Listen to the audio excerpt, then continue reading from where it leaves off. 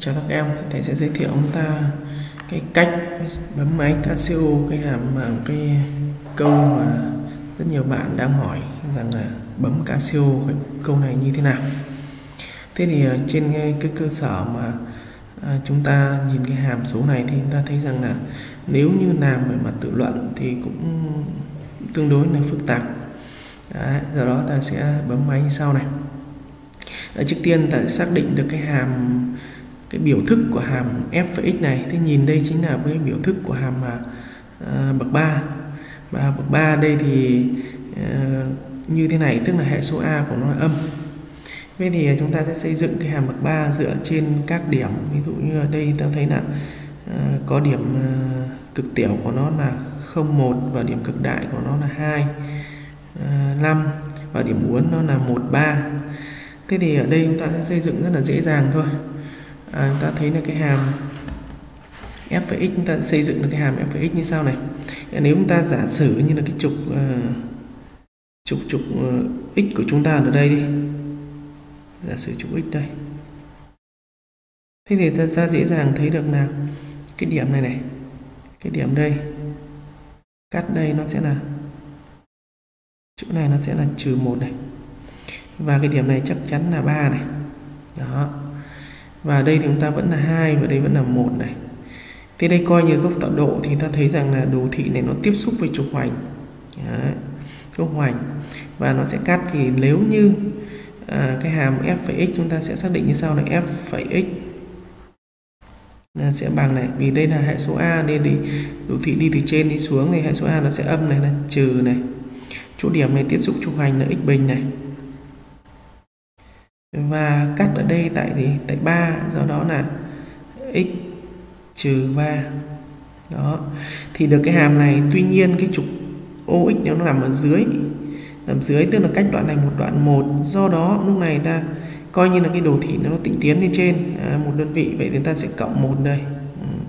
Vậy là ta đã xây dựng xong được cái hàm f x thế thì làm được cái bài toán này khi ta có hàm f x rồi thì nó rất là đơn giản. Casio cực kỳ đơn giản trong trường hợp này chúng ta tính cái y phẩy này thôi. Thế y phẩy này chính là bằng gì? À, bằng trừ 2 nhân với f phẩy của 5 trừ 2x à, cộng với 8x trừ 10 ok. Và lúc này chúng ta thấy là à, cái f phẩy cái f phẩy của cái uh, x 5x trừ 2 này này 5x trừ 2 này. Thì ở trên cái biểu thức này cứ chỗ nào có x thì thay bằng 5 trừ đi 2x thì ta sẽ được bằng này trừ 2 nhân với trừ 2 ở đây chúng ta chú ý trừ 2 đây. Trừ mới trừ à chúng ta sẽ cứ mở ngoặc để đã. Rồi trừ đi là chỗ nào có x thì thay bằng 5 trừ 2x tức là chỗ này 5 trừ 2x bình phương này nhân với chỗ này có x thì nó thay bằng 5 trừ 2x trừ 3 này rồi cộng 1 này. À, đây là biểu thức của f phẩy của 5 trừ 2x này. Chỗ này cộng với 8x trừ 10 ok. Và đến đây nhiệm vụ của ta Casio thôi. Bạn nào bấm nhanh được là ok. Đấy. thế ta sẽ bấm như sau. À, ta dùng table mode 7 mode 7 ta nhập cái hàm này vào thôi. Trừ 2 nhân với mở ngoặc trừ. Này 5 trừ 2x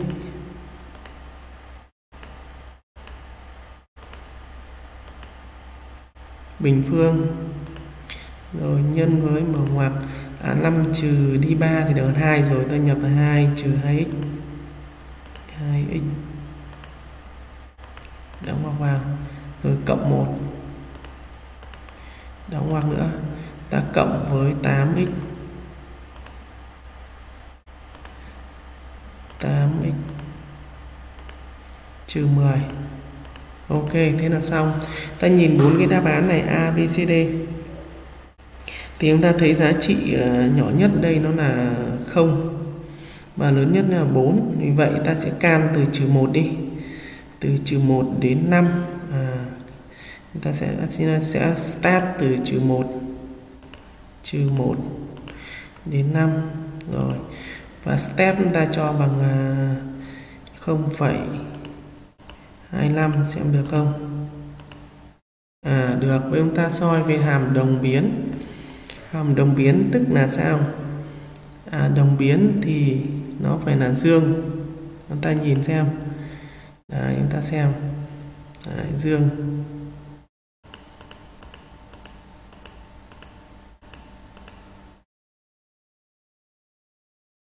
Dương đây chúng ta thấy là từ à,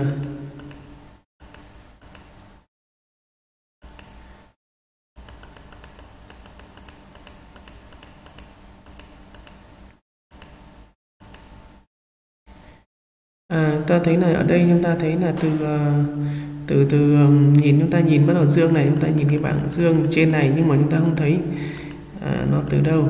Từ cái chỗ mình can là từ trừ 1 nó cũng đã dương rồi này. Đấy. À, đến 0 nó vẫn dương này. Tiếp tục này. X bằng trừ 1 à x bằng 1 nó bắt đầu âm này. Nhưng mà từ cái trừ 1 đến à, 1 thì chỗ này nó không chúng ta không thấy có khoảng nào. À chúng ta bắt đầu từ 0 cơ. Đúng. bắt đầu từ 0 chúng ta không xét này. Tiếp tục này chúng ta xem từ 0 ừ.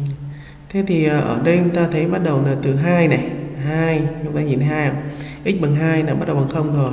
Đấy là dương rồi. Tiếp tục đến 2,5 nó dương. Đấy 2,5 nó vẫn dương. Yeah. và nó đến 3 nó vẫn dương. Đến 3 dương đến 3,25 là nó âm rồi. Vì vậy nó từ 2 đến 3 từ 2 đến 3 mà trong ở đây thì chúng ta thấy sẽ từ có đáp án B là từ 2 đến 2,5 à 5 phần 2 5 phần 2 là 2,5 Đấy. thì chúng ta chú ý như vậy vì đáp án ta là đáp án B đúng không? Đây chúng ta nhìn này.